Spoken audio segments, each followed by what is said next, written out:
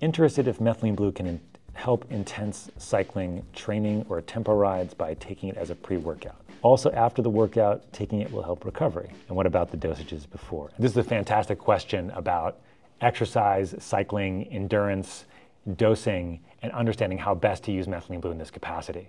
So this is really cool. Methylene blue can act just like oxygen in the mitochondria, which means that it can help you make energy for longer from an aerobic perspective, meaning that you can maintain a heart rate longer, typically with methylene blue on board, compared to having it not on board. And we've seen this clinically and anecdotally. It hasn't been studied in research yet, but it's not subtle if you get the dosing right. And the interesting thing about having methylene blue on board too, which we're just understanding now from people that are high performers, is that typically when we recover from exercise, we have to get our heart rate down to a certain amount, a certain beats per minute, to actually have that recovery.